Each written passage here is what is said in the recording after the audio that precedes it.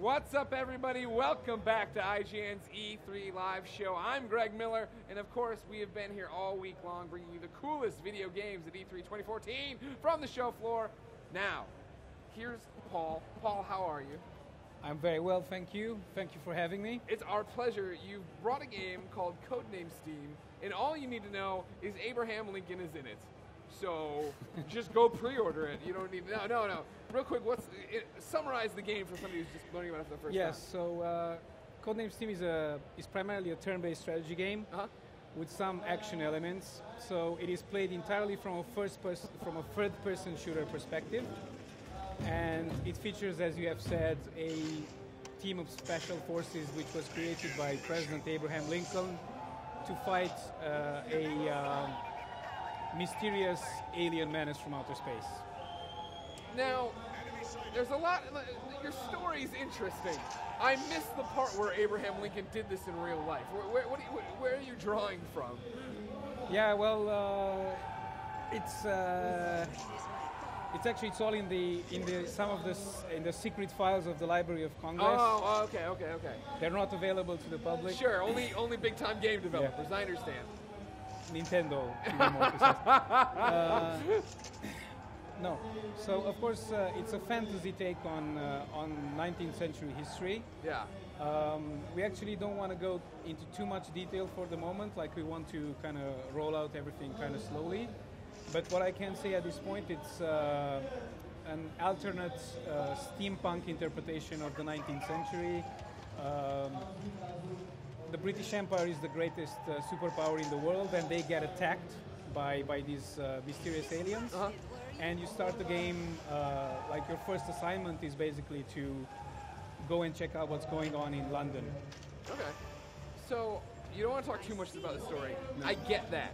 Where are you drawing influences from? Because the story, of course, you talk about being steampunk, right? I immediately imagine drab colors, you know, the steampunk.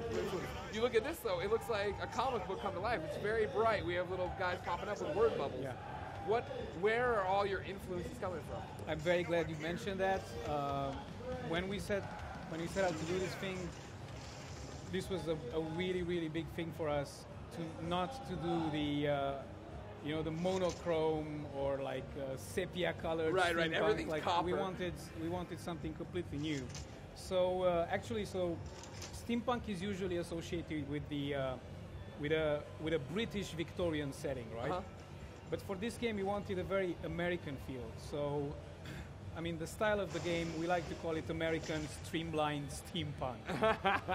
so, American culture and art and traditions are very colorful and bright and dynamic. So, we wanted the style of the game to, to reflect this.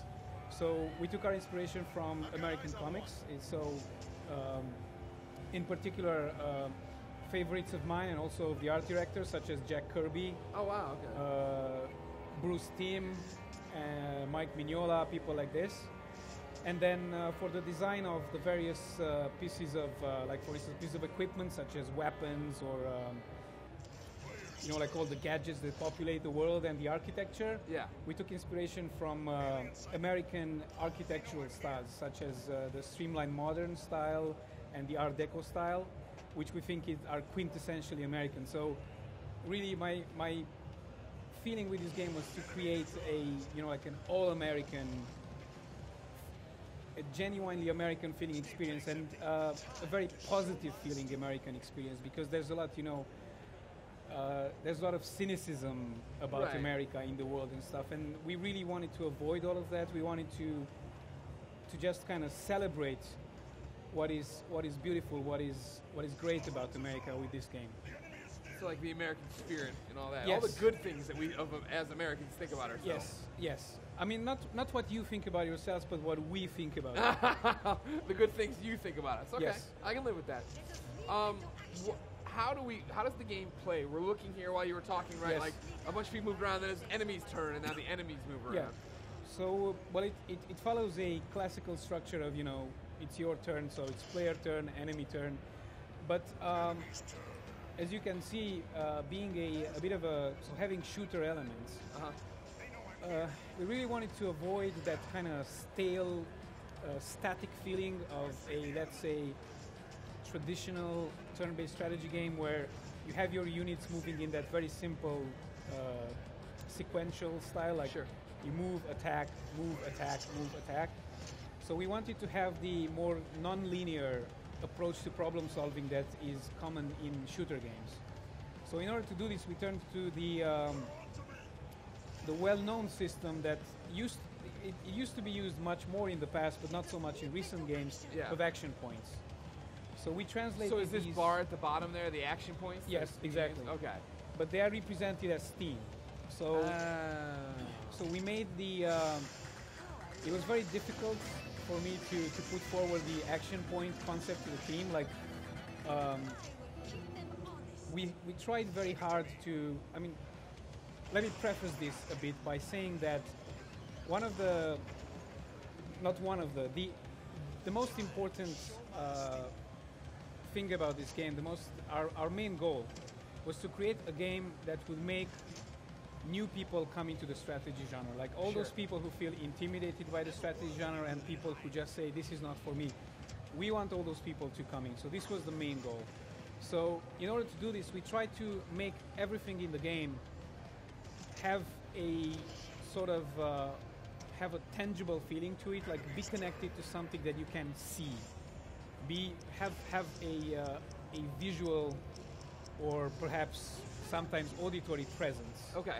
So in this case, we replace the action points with the steam that is in the backpack of your uh, of your units, and you use this steam to perform the various actions. So my first question, Yeah. being a complete noob, is does the does the Steam action points does it, does it get spent when you just move your character? Because I see the characters moving, but I don't see the Steam decreasing. I'm just talking to you. I don't want to get too distracted from your beautiful face. Well, well observed, well observed. So uh, this is something that uh, our main programmer came up with. Um, initially, we had, of course, the the classical system where as you moved, your steam got consumed. Right. But because the game is played on a 3D map, on a fairly fairly complex 3D map, and you don't get in this game you don't get an overview of the map. Like you have to control everything from the point of the view of the characters on the field. So what this resulted in was there is a very important exploration element to the game. You have to scout around first before building a plan. So we discovered that what people would do, they would just, you know, scout around and press the undo button, come back to, and this was was You know my strategy so well already. no, it was completely natural. Yeah. But it was it was really, I mean, it broke the flow of the game. It was just like uh, matches would take forever. Right. Like even a small map, you know, would take an hour to clear and whatever. So we, we came up with this idea that well, if you don't do an action, like if, if you don't do an attack or something, then your steam doesn't get consumed. So you can scout around and you can come back to the position where you started from, and then the steam will regenerate. Now, there is a risk associated with this. Of course. if you get caught up by the enemy and you get attacked by an Overwatch attack, um, your steam, the steam that you used up to that point, will get consumed, and you may end up with no steam left in a very, very bad position. So there is risk associated with this. Okay. And now, what we just saw here, you walked up and it was save, save and Yes. restore, save and restore all. Are you restore? What are you restoring? Uh, good question. That's not so easy to understand, eh? No, well, I, well, I mean, I'm not playing. I'm Yeah, sure if I maybe- had yeah, yeah, hands-on, maybe, different yeah. story. I didn't know if we So, were uh, restoring the tank's health. What? Yeah. So this is this is our way of handling difficulty in the game. Uh, we chose not to have various levels of difficulty because um, we felt that you know if you when you start the game and it says I don't know in the worst possible scenario it says casual. Yeah. oh no, thank you, Paul. Come Yeah, on now. Like it feels almost like an insult to the player. Like Right. you know, we know that you're not good enough, so we kind of made this for you. Sure. Okay? So we didn't want this. We didn't want that screen where you choose a, a difficulty level. So what we do is we try to um, manage difficulty dynamically in the game via these checkpoints. And what these checkpoints do, they allow players. So, for example, if a novice player loses all his units except one, Yeah. but reaches one of these checkpoints, he has the choice of using the medals. I mean, you can see right now the medals on the screen. uh, you can use the medals that you collect uh, from the map and from killing enemies to restore um, the uh, the steam the, the steam for the unit currently accessing the checkpoint, or the HP and the steam for the whole team. So bring everybody back. Yes. Okay. And this allows even players of who, who are new to the game and perhaps are not so good. This this this probably will help them clear pretty much every map. Okay. However, Here, I knew there. I knew there was a butt coming if something Yes. that happens. uh, for hardcore players, they have the choice of not using this. Yeah. They have the choice of not using this system, and they get to, to, to conserve their medals. And what, what this gives them is uh, they will get uh, faster access to the to the later, uh, you know, the, the power, the more powerful weapons are later in the game. So in their case, they will get to face the challenge of the latter game with better weapons. Gotcha. So this way, I think we kind of we kind of struck a balance, uh, so everybody can play and enjoy the game. And in my opinion, it doesn't feel unfair, it doesn't feel demeaning, and it doesn't feel cheap either. So you have a choice of not using it. And perhaps I could say again, if you're a very uh, if you're a if you're an experienced player Yeah. and you have you know the layout of the map and stuff, you have the option of doing some really cool things with this because, as I said, it restores all your steam. So you can do like a super run. uh, you can just you, you if, if you know where these things are and and uh, and if you know where all the stuff, all the items that restore your steam and stuff are, then you can just uh, just go on and on and on and have this like have your turn just go on for as long as You could as possibly possible, go. yes. Yeah, And. I'm actually I'm looking forward. Like this is one of my personal things I'm looking forward to. Like once we get this out, I'm looking forward to all those videos on YouTube sure. How clearing every map in one turn. Can you do it yet? Uh, maybe on some maps. I Yeah. mean, the game we don't have so many chance-related elements, but there's a lot of moving pieces at the same time. Sure. So the game will rarely play the same. I mean, I'm not gonna I'm not gonna lie and say that well, it always plays differently. Yeah, yeah. But it plays differently enough that Okay. it won't be easy to just replicate the same movements and get the same results. I mean, the AI will do something different. You will screw up something. Uh, one of your shots may not hit the enemy. Right. Um, so if everything falls into place, yes, I can do it sometimes. Okay. So, talk to me a little bit more about the weapons then. That sounds interesting. As you go, you are getting the ability to unlock or purchase new weapons? So um, the way we went about the uh, upgrading system in the game is that um, well, there is no upgrade system.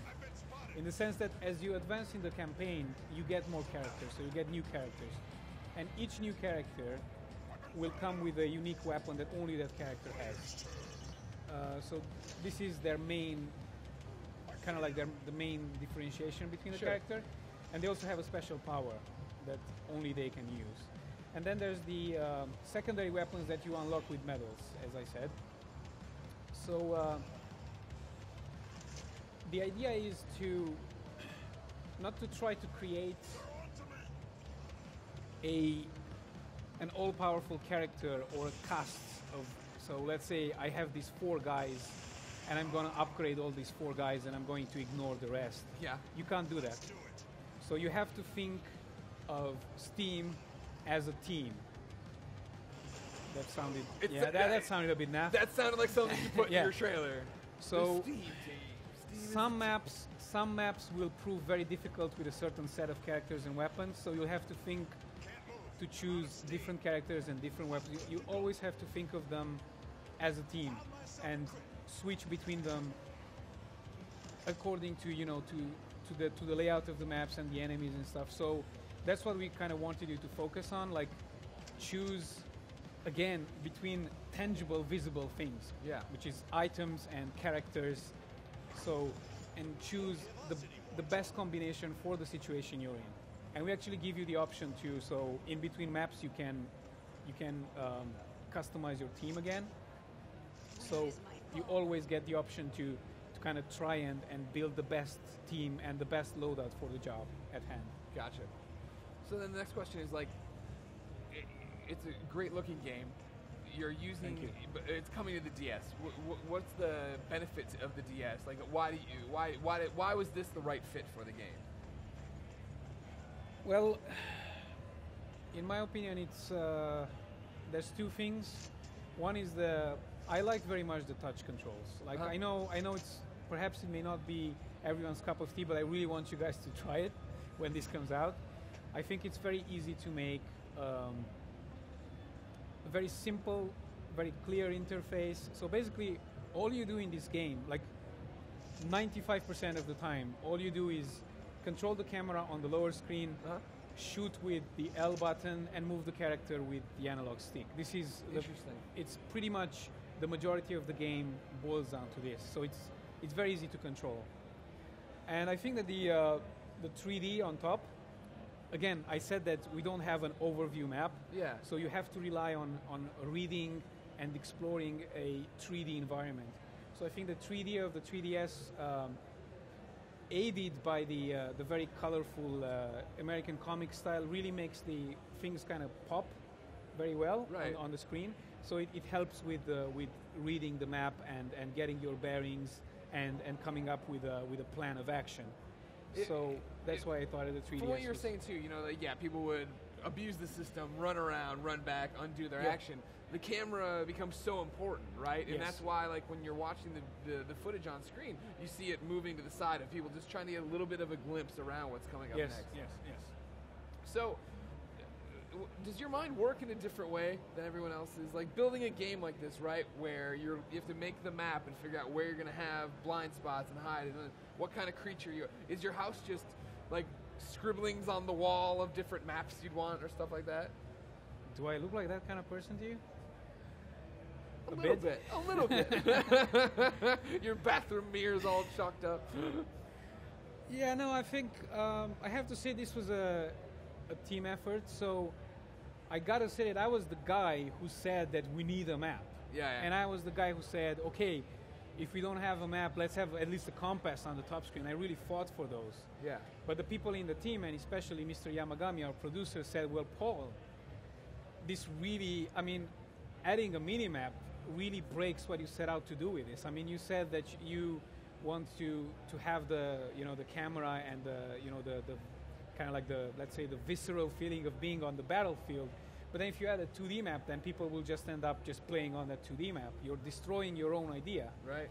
So um, it's through this collaborative effort that we actually came to the decision that we won't do any, we won't add any 2D crutches, so to say. We're going to do it all in 3D. So we're going to we're going to focus on this multiple 3D viewpoint, um, very immediate, very intuitive style of gameplay. How long have you been working on the game? Very very long time. Yeah. so the process of making this game was actually quite involved in the sense that um, so I have to tell you that the pretty much the first uh, draft so the, the first pitch was 2009 wow. yeah That was a long time ago. Yes and for a very long time we worked the game pretty much on paper so once again with Mr. Yamagami's team um, we pretty much worked every single detail on paper. Then we went through a pretty long uh, prototyping phase. And then finally in 2012 we got a budget and we started like proper development in 2012. All right. So um, I really have to stress this that we, we tried a lot of things. Like we tried many, many things. And uh, our publisher, so Nintendo and Mr. Yamagami, kind of played the, uh, the role of, of an editor, so yeah, to yeah, say yeah, yeah. because I just wanted to do everything, you know. I sure, sure. and uh, and at every step of the way, they were like, "Do you need this? Does this thing make sense in the context of your game? Does this make the game better? Yeah. Does this make the game more easy to understand?" If the answer to these questions was no, then cut it. Not a bad idea. It's a good way to do Yes, it was- You need I those mean- kind of people on a project like this, right? Yes, and it was a very grueling process for me. You know, it was uh, it was very frustrating at times, but it was also uh, in the end very liberating because it really allowed us to focus to always always focus on the essential. What is fun? Yeah. What is um, you know what is intuitive? What makes sense? Well, Paul, it looks great. Codename Steve. Thank you. When does it come out? It comes out sometimes in 2015. Okay. Well, it looks great. Thanks so much for coming by and showing Thank you me. very much It's been a for, for giving for giving us this opportunity. Oh my gosh, please, it's our pleasure. This is what we do at you. IGN. We bring awesome looking games on and let people talk about them. And if you like that, don't go anywhere. More of that is coming up from here at E3.